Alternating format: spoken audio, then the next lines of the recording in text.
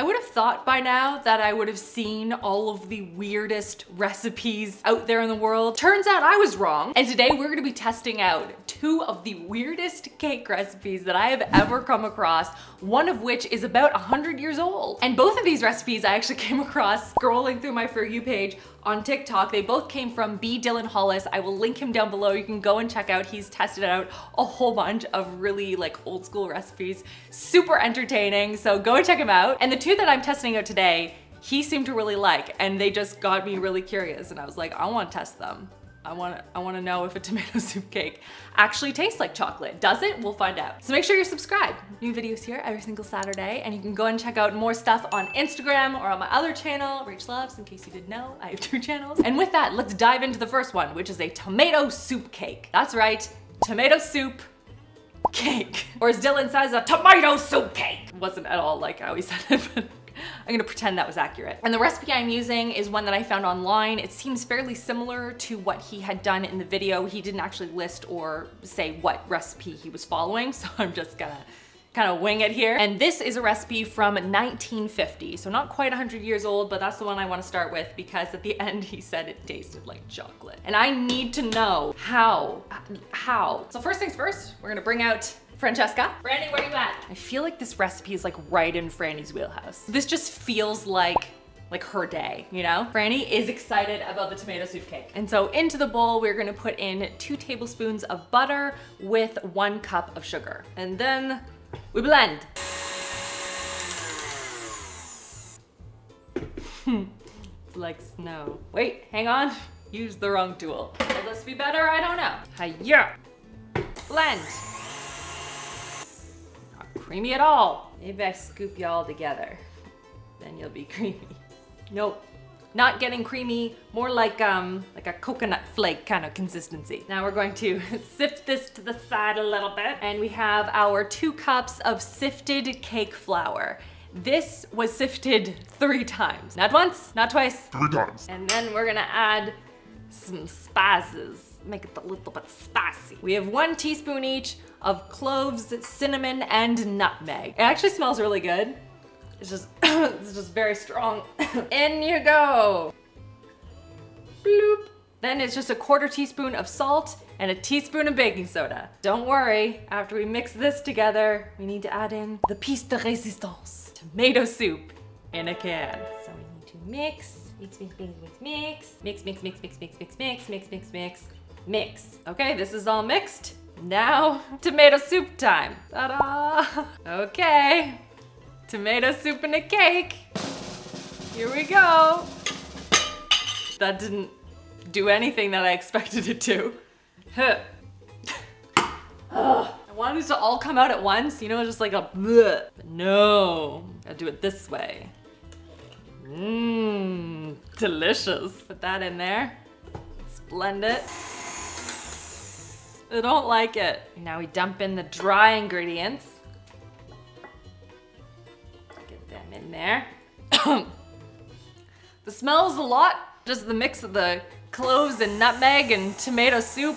it's like a thing. That is a very orange cake. It doesn't smell great, um, I'm, I'm, I'm gonna be honest, but I appreciate that there were people that came up with this creative solution. People are so creative, doesn't matter what era. I'm just gonna butter my bacon dish a little bit. Bacon dish. That would be good in here with the tomato soup and the spices. A little bacon. All right, so we have our batter here. In it goes. It's very fall. Maybe this is a good fall cake.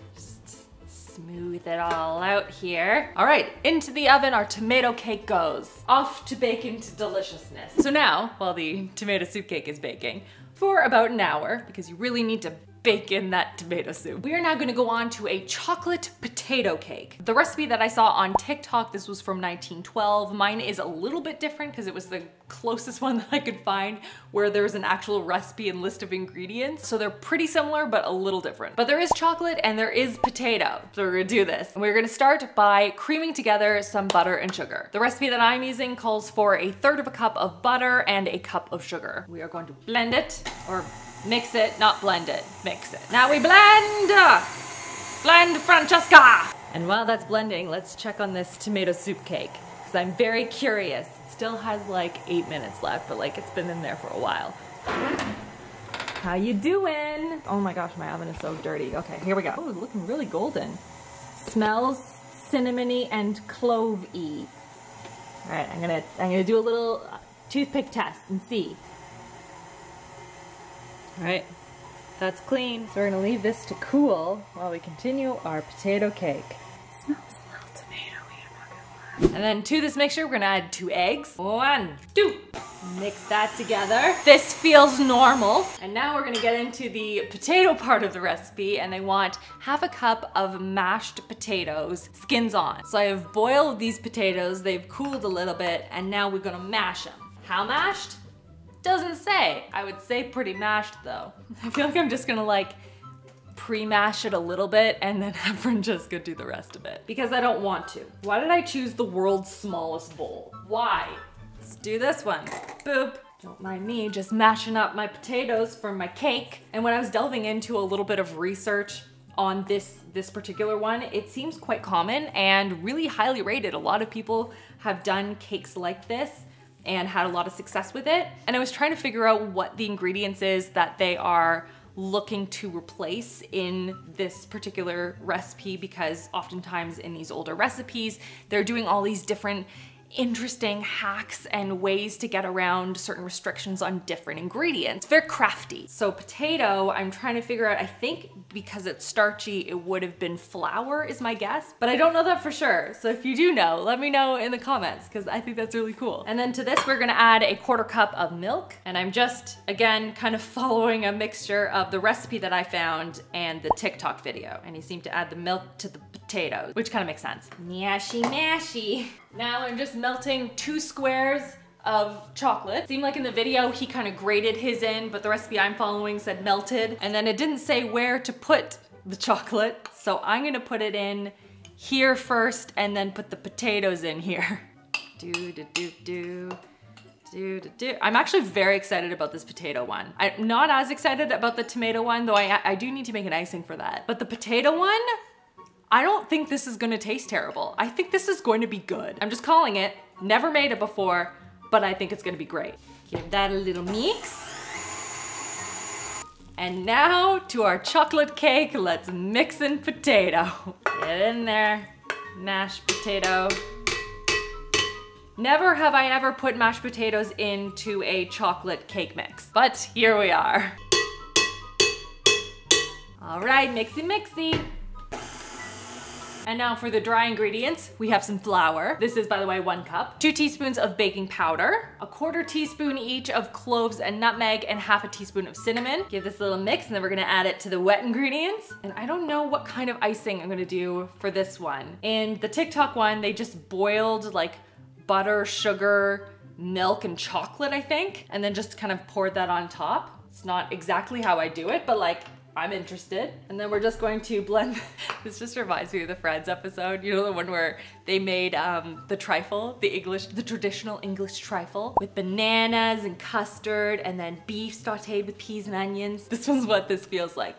This is my Friends episode. Get that all in there.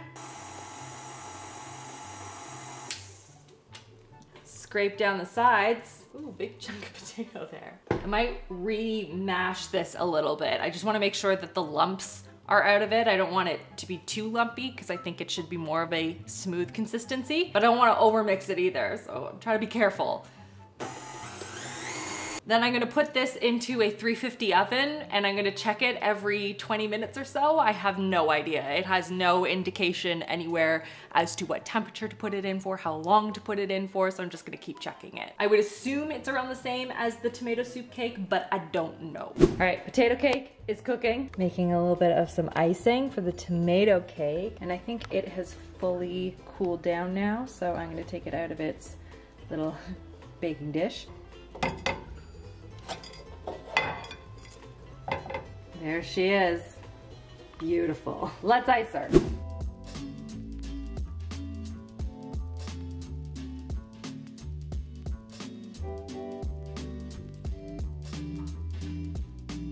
All right, I've iced both cakes, but I'm not eating this by myself. Christopher. Hey. Cake. Look at this. Huh? Looks good. Uh, Like it looks like a cake. Is that cream cheese? No, it's not. It looks a lot like cream cheese frosting. Had I had cream cheese, I would have done that because I think that's actually what they did in the original. But this is just a buttercream, which is like be close enough. It smells very pumpkin spicy. It feels very much like a loaf Yeah. in terms of consistency. Well, Good luck. Texture's nice. Spices play into it big. very moist. It is actually. The top is a little on the crunchy side. A little bit, pleasantly. I'll try it without Oh, frosting. without the frosting. Yeah, the frosting is very overpowering. Tell you what I want.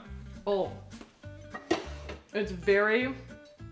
Try, having it without the icing, it's very spice forward. I don't like that as much. But no tomato. I do not taste tomato at all. No, no, not at all. I just want this with butter. I don't think it needs frosting. Little bite. I like it better with the frosting. Frosting's just sugar. I mean, it's good, but I like the spice and I like the butter. Yeah. It's good. I'm impressed. It's a spice cake. Mhm. It's a spice cake, 100%. And it smells better now than it did when it was baking. Like when I was putting it together, it was very tomato forward. And that was a very intense scent that I did not like. Maybe you would have liked the the smell of it, but like I was not not into it. I don't like tomato soup unless I have a grilled cheese sandwich. Then I need tomato soup. For me, it's like I need pickles and ketchup with my grilled cheese. do you- Always pickles. Why do you need ketchup if you have the soup? I don't know. It's a it's a dip. I don't Why like tomato soup. soup? I know, but then I have all this leftover tomato soup that I don't want. Make me a grilled cheese and I'll have it. It works. Solution. So do you want to try the next one? Because I made another weird cake. Oh, sure. Yeah. More cake. This time it's one of your favorite vegetables. This is a chocolate potato cake, Chocolate is my favorite vegetable. Christopher. And there's like a little drizzle on it, Mm-hmm. you know? That's good. Like, honestly, when I was making this one, this one smelled like, oh yeah, that would be a cake. And there's potato flour. Like, it's, a, it's a thing that exists. But this is mashed potato. I don't see why that wouldn't work. Like, I think this will actually be good. Okay, let's, let's, yeah. It looks dense. Yes. I also made it in a loaf pan, which also kind of makes it look more dense. Yeah. This also has many of the same spices as the last cake with the cloves, nutmeg, and cinnamon. Cloves, that's what I was getting over. Yeah. Yeah, that's what that Very was. Very intense. Like I can I can still taste the powdery like spices in my mouth.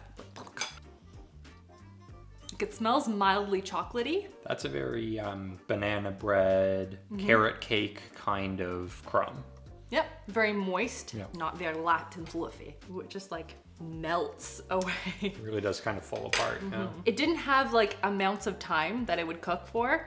Well, So this I- is cooked. Because I like I checked it like toothpick wise. By the way, it was about 40 minutes in the oven. It looks fully cooked. It's just don't know. Crumbly. Yeah. Boop. Hmm. You don't like that? All I got was chocolate sauce. Oh, try that again. This is so good. It's not bad. What? No, I prefer the tomato spice cake. Really? Absolutely. Oh, this Yeah. one's way more up my alley. Comparison now.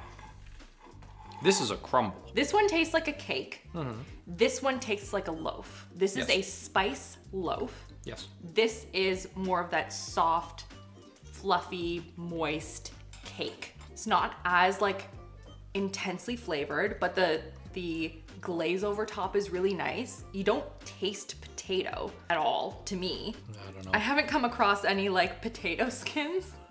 I personally would probably pull that out next time, but like that's a good cake to me. I can't believe you said that to a potato cake. Let potatoes be what they are. Let cake be what it is. Have some fries, cake for dessert. Next morning, have tomato spice loaf for breakfast. No. Okay, I will. okay, you can you can have this then. Bye. Okay, bye. so, just gave my kids a sampling of both cakes, but I didn't tell them what it was, and I wanted to know what they thought the cakes were and which one they liked the best. So, they both preferred the tomato soup cake and they tried to guess what it was. So, Julia guessed it was like pumpkin spice, Luke thought carrot. When I told them it was tomato soup cake, Jules like, get out of here. and then Luke looked at me and he said, why do I only get a small amount of the tomato sauce cake? so I guess there you go. They are also on team spice cake. Team tomato soup cake for the kiddos. Tomato sauce cake. okay, tell me in the comments below. Are you team tomato soup cake or chocolate potato cake? I need to know. Because apparently, Chris and I are at odds about this. I think this one's the clear winner. You know what would change your mind? Mid-afternoon, cream cheese frosting on the spice cake. Mm-hmm. Cup of strong coffee and a little bit of butter and salt. And then I would hand that loaf to you and take my chocolate potato cake with my strong coffee. This was very good, nice and moist, and I can see why people put potato in cake. I'm just gonna say it. Make sure you check out these other videos on the side in case you have missed any, and let me know if there are any other recipes out there that you have seen that you think I should try out. Leave me a comment down below, and thank you so much for watching. I will see you in my next video. Love you all. Mwah. Pretty sure I just got chocolate on my nose. Whoops.